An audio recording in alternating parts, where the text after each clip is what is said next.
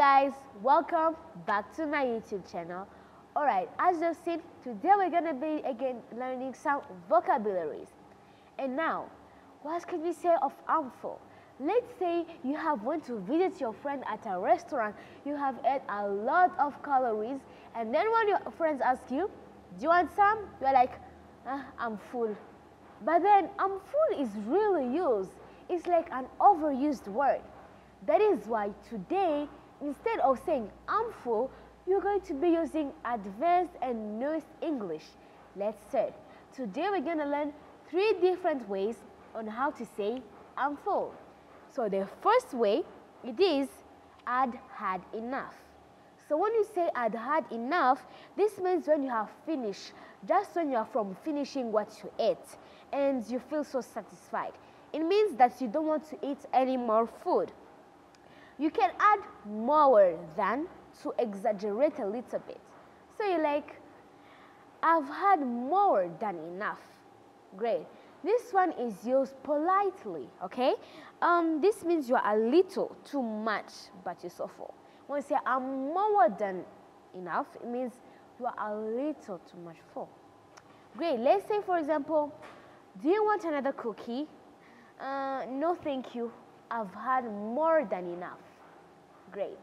The second one on how to say I'm full, you can say I'm stuffed. What does this one mean? I'm stuffed means it means you're extremely full. You can use this expression to exaggerate or use it literally. Example, did you enjoy the meal? Yes, everything was marvelous. Honestly, I'm really stuffed.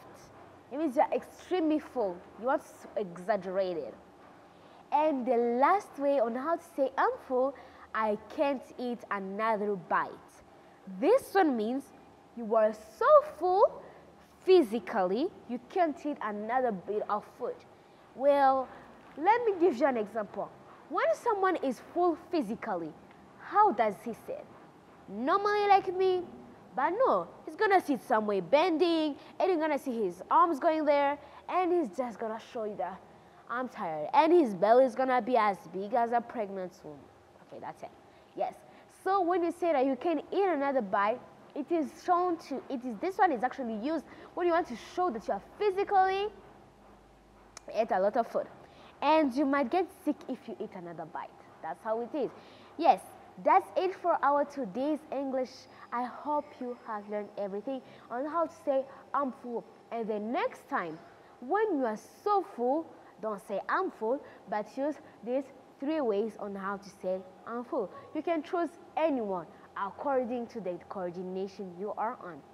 Okay guys, that's all we have for you and if you enjoyed today's learning, don't forget to leave a very big thumbs up, subscribe, turn on the little post notifications and also share the video so everyone can learn some other Asbury English on how to say your full. Bye guys, see you in our next English learning episode.